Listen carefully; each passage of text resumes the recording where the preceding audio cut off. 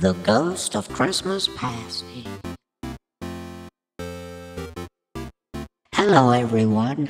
I'm the Ghost of Christmas Pasty. I was born on Christmas Eve in the wild west of Cornwall. I was a beautiful large steak pasty, made of the finest skirt, tatey, onion, and turnip, dressed in a rich pastry, crimped by a pair of real Cornish hands. I was chosen by my mother to be left out as a meal for none other than Santa Claus himself.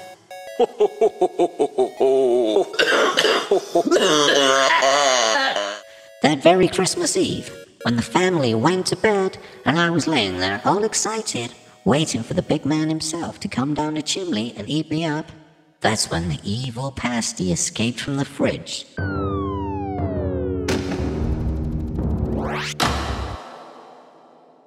Climbed on top of me and jumped up and down on me until all my gravy was gone.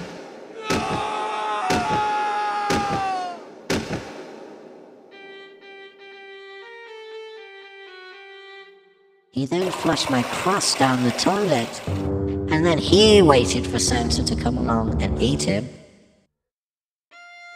I do not blame the evil pasty for what he did. In fact, I feel sorry for him. He had a very hard life. Nobody wanted to eat him. And people often poked fun at him, saying it wasn't a real pasty at all. So in the end, he was upset and neglected. He felt he had no choice but to murder me in cold gravy or spend the rest of his life in the fridge until eventually being given to the dog. He waited and waited and waited for Santa Claus to arrive so he could eat him up. When Santa Claus arrived, Santa was on a diet. so he never ate the pasty anyway and just gave it to the dog.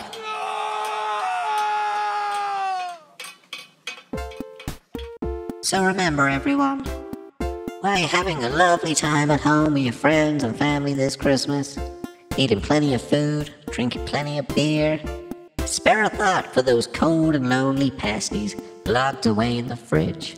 Happy Christmas, everyone!